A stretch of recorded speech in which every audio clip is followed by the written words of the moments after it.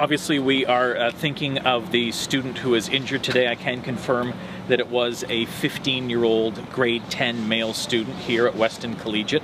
Uh, obviously, we're thinking of uh, him, his family, loved ones, uh, the, the staff, and, and students here at the school right now. Shortly at approximately 12 noon this afternoon, a student at Weston Collegiate Institute was shot in the parking lot.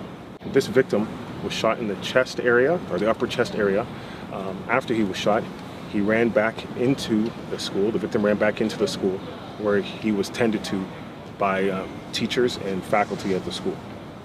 Um, at that time, uh, emergency services was contacted. Uh, police and ambulance arrived on scene and tended to the victim. The victim was subsequently transported to a local trauma center where he is currently in critical care.